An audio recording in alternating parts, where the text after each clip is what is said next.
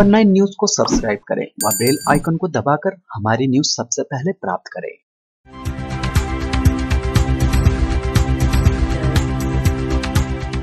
नमस्कार, आप देख रहे खबर नाइन और मैं हूँ आपके साथ प्रिया। महू के पास ग्राम गौली पलासा निवासी पंकज पिता कैलाश पाटीदार, उम्र 35 वर्ष निवासी गौली पलासा के खेत में। इंसाफ पिता औसाफ उम्र 15 वर्ष औसाफ पिता यासीन, उम्र 37 वर्ष। दोनों निवासी नई महू के पंकज पिता कैलाश पाटीदार निवासी गौली पलासे के खेत में।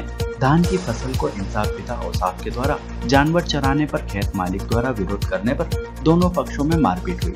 जिसमें इंसाफ को मामूली चोट आई और दूसरे पक्ष को भी मामूली चोट आई। दोनों तरफ़ से चार लोगों के खिलाफ प्रकरण दर्ज कर पुलिस द्वारा विवेचना कर मेडिकल के लिए भेजा गया। डोंगर गाँव चौकी पुलिस द्वारा दोनों के खिलाफ कार्रवाई कर गिरफ़्तार कर कोर्ट में पेश किया गया। मैं मोह गाँव में पंकज हाँ, पाटीदार और इंसाफ की गाय उनके खेत में चली गई थी उस बात को लेकर दोनों पक्षों में मारपीट हुई थी। दोनों तरफ़ से कंप्लेन हुई है। तो इसमें किसी को ज़्यादा लगी क्या सर दोनों पक्षों को लगी है दोनों पंकज को भी लगी है और इंसाफ को भी लगी है। तो ऐसे ज़्यादा गंभीर को नहीं इनको हॉस्पिटल रेफर किया गया? जी मेडिकल कराया गया दोनों का। महू से संजय वर्मा की रिपोर्ट। आज की खबरों में बस इतना ही। बने रहिए हमारे साथ खबर नाइन में।